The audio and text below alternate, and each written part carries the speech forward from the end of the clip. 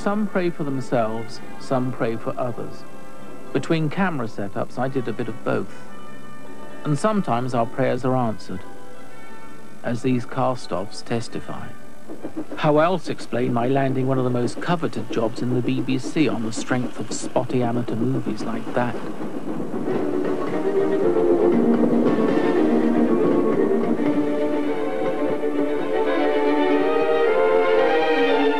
Was no pony anymore, but Elgar bought himself a bike, and despite all setbacks, almost certainly felt an enormous relief. That was the voice of Sir Huw Wheldon, who ran Monitor, the first regular arts programme ever to be seen on British television. I was taken on as the resident filmmaker, and under Huw's inspired guidance produced regular documentaries for 10 years or more, the most popular of which was undoubtedly Elgar, Man and Boy.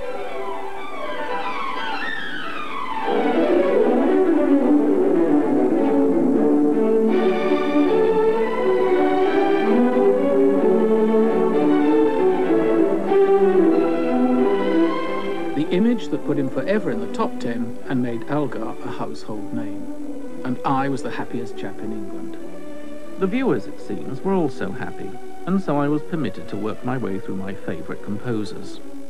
Cut to graduation day at the Conservatory of Music in Old St. Petersburg, with the faculty divided over the merits of a new piano concerto by their star pupil, Sergei Prokofiev.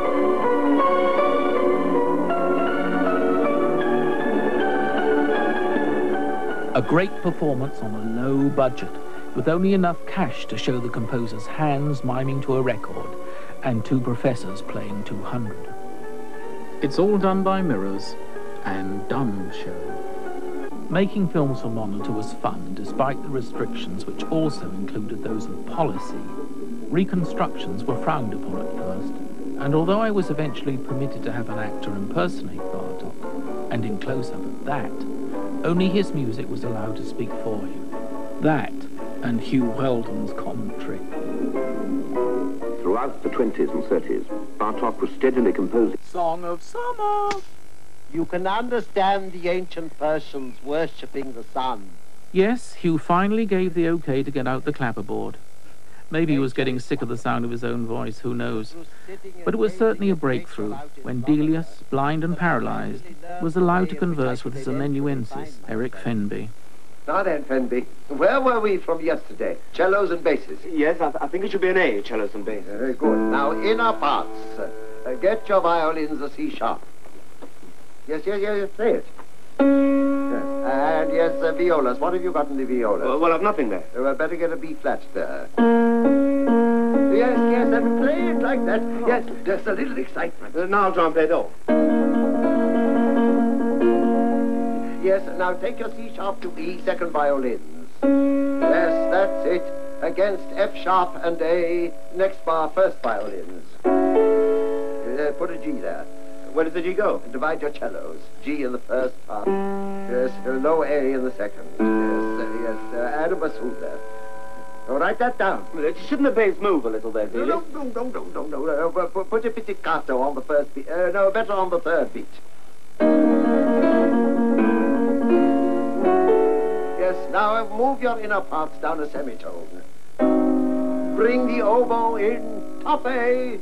Ta ta ta ta. Triplet on the first beat. yes, now play it all. No, no. You forgot the pizzicato in the basses.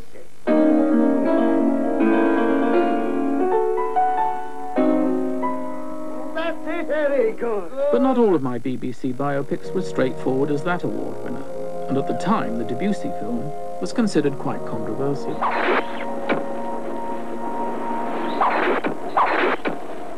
What's all this got to do with Debussy?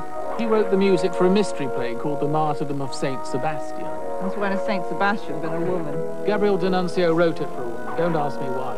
I'm just being faithful to the author's concept. Mr. Russell, why do you deliberately set out to shock your audience? I believe in mass therapy. Why is preoccupation, I could almost say reverence for art? What does the word art mean to you? A white stick tapping through the night. I see. You virtually invented the drama documentary, and you've had many imitators. The genre is now exhausted. What next? Satire! I found the perfect subject in Richard Strauss, who wrote an overblown domestic symphony in which he set his family life to music. Someone called the piece a cataclysm of domestic plumbing, but Strauss didn't stop at bathroom humour. Most of the symphony takes place in the bedroom, for which he composed Eine kleine Nuki Musik, and laid bare his more intimate moments with a candour hitherto unknown in music. Thus spake the great lover. This is not the music of Richard Strauss. I must protest. No, it's by his old mate Johann. Won't that do? Nonsense, his mate is Josephine in bed there. Uh, now wait a minute, and I'll explain. When Strauss Jr. saw the original program, he was so outraged that he slapped an embargo on the music. But he couldn't touch the picture, so it's okay to keep watching. May I ask you a question? Certainly. Mr. Russell, are you a sex maniac? No, but Strauss was. Is what we have just seen an example of pop art? Well, since it deflated a bloated ego, I'd call it Pop Tart. Some might call it infantile. Only the senile. Mr. Russell, you are deliberately deceiving the public. Richard Strauss did not have a symphony orchestra in the bedroom. Oh, but he did. Oh, really? there. In there. You have made sport with the truth. Strauss wore a nightcap in bed. True or false? That's not important. So what is? You obviously enjoy your role of enfant terrible of the British cinema. Is that how they see me? Yeah! Oh. And all because I was a little unconventional and irreverent. So why the fuss? Why the outrage? The Dance of the Seven Veils was simply a satirical look at Richard Strauss, stripped down to his swastika. By exposing his activities in Nazi Germany and the sex and violence in his music, it seems I was guilty of attacking a sacred cow. The result was an international scandal. The BBC were less than pleased. After 34 films, it was a fast fade out. No golden handshake. No handshake at all. The feature film world is pretty free with its handshakes, but mention the word art and they think you mean Art Garfunkel. Tchaikovsky? What film on a composer ever made money? Tell me. What's the storyline? Well, it's about a homosexual who falls in love with an nymphomaniac. Sometimes it could be as simple as that. But my next sales pitch, struggling artist shares studio with woman twice his age in platonic relationship, cut no ice with the distributors. Can't think why. So I had to double mortgage my house in order to finance Savage Messiah. I was glad to. I owed a debt to its hero, Henri Gaudier Brzeska. Gaudier was artisan as well as artist. Often on the verge of starvation, he turned his hand to anything to earn a crust for himself and his beloved Mamalushka, and enjoy the challenge. And though his genius was never appreciated in his own lifetime, he was always aware of his own talent, and that alone was enough to keep him going. Alphabet soup kept me going when I was down and out, with only dreams of becoming a film director. Soup and the stirring example of Gaudier's belief that everything in life is worth enduring for the sake of one thing only. That and the love of a woman you gladly die for.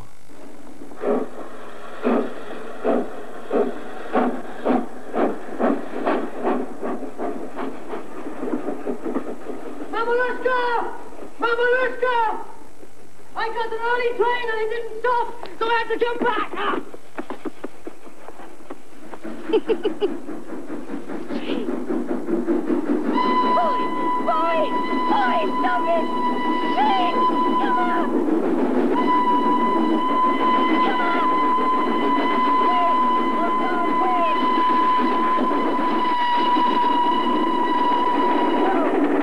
now, I had the reputation of being as reckless as Gaudier, and was regarded with suspicion by members of the establishment. Women in Love was admired, but almost everything after that aroused passions as varied as the films themselves, especially the religious subjects. She's got the power to heal you. Never fear. She has got the power to heal you. Never fear. Just one word from her lips, and the deaf can hear. Hey,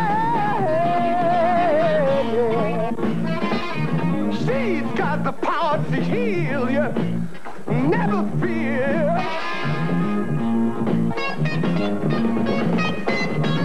One word from her lips, and the deaf can hear.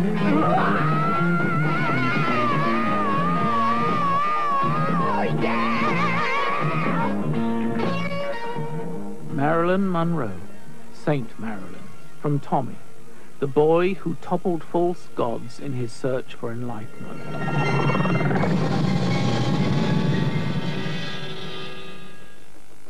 I too was disillusioned. I wanted to break free. I was tired of clouds of incense. I was after clouds of glory.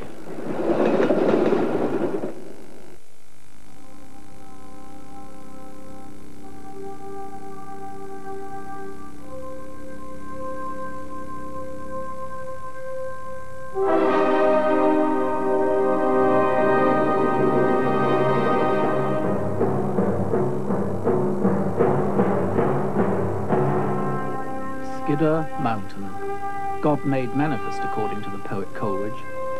It was here, in the most beautiful place in England, that I found my new church. The west wing of the transept is Catbells, the most walked upon hill in Cumbria, while the east wing is known as Grange Fell and is frequented mostly by rock climbers and sheep.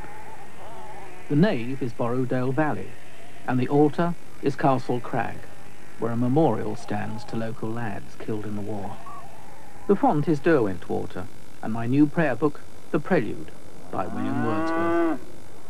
And so, in a sense, I became a devout churchgoer, encouraging congregations of film crews to share my devotions. One of my favourite locations was the Lodore Falls, but you could point a camera most anywhere up here and come up with a spectacular shot.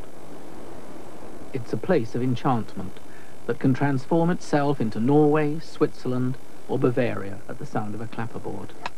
Or even the kitsch, never never world of Zarathustra in pursuit of life.